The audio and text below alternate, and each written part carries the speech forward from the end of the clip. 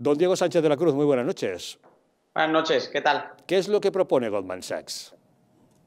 Pues pienso que algo muy eh, sensato, ¿no? Y es que nos saltemos al intermediario. Básicamente, ahora hay un intermediario que es el gobierno. El gobierno decide cómo se jerarquiza y se ordena la distribución de los precios de la energía.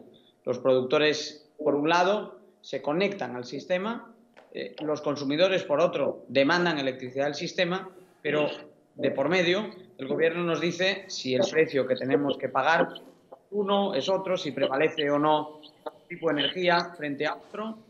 Este es el conveniente que tiene el sistema, de, mayorista actual. Lo que dice Goldman Sachs es muy claro.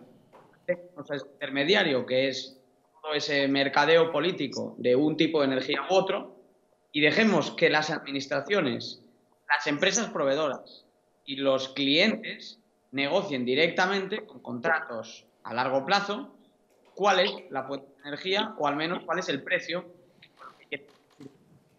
forma por completo eh, las oscilaciones de precio, porque habría un precio claramente fijado, no existirían, por lo tanto, vaivenes, ni al alto ni a la baja, y habría certidumbre en torno a cuál es el coste de unas y otras formas de energía.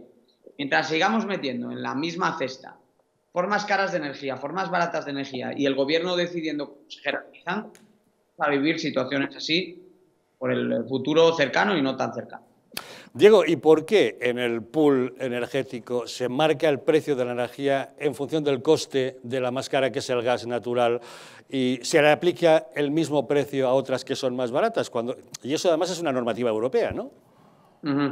Sí, efectivamente. Bueno, con el sistema actual estamos priorizando un tipo de energía por encima de otra, eh, dando por hecho, dando por bueno que los objetivos climáticos son lo único que tenemos que tener en cuenta. A mí me gustaría, por lo tanto, plantear una reflexión un poquito más amplia. Ahora mismo, si nos fijamos en los últimos 20 años, Europa ha reducido sus emisiones un 30%.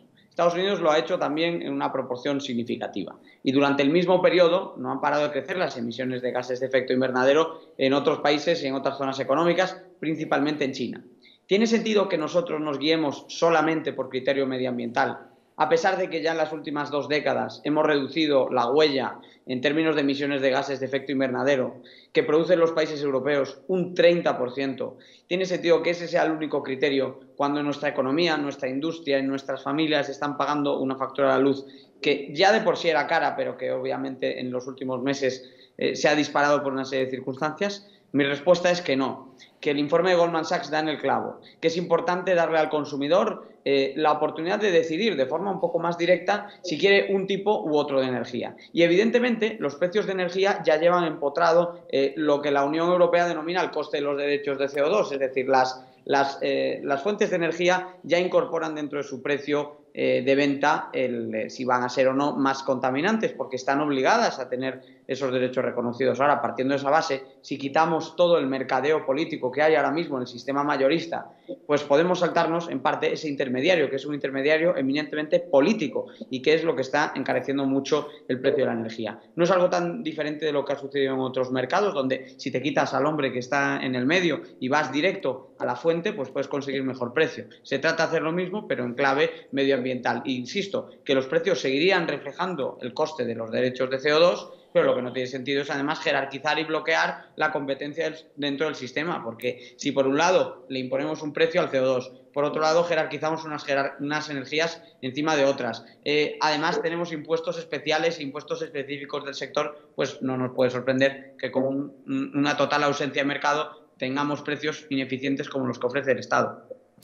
Pues así seguimos y según nos dicen los expertos, así vamos a seguir durante largo tiempo. Don Diego Sánchez de la Cruz, muchas gracias como siempre por acompañarnos en Los Intocables. Muy buenas noches, Javier. Un saludo, hasta luego. Don Carlos Lacazzi, muy buenas noches. Muy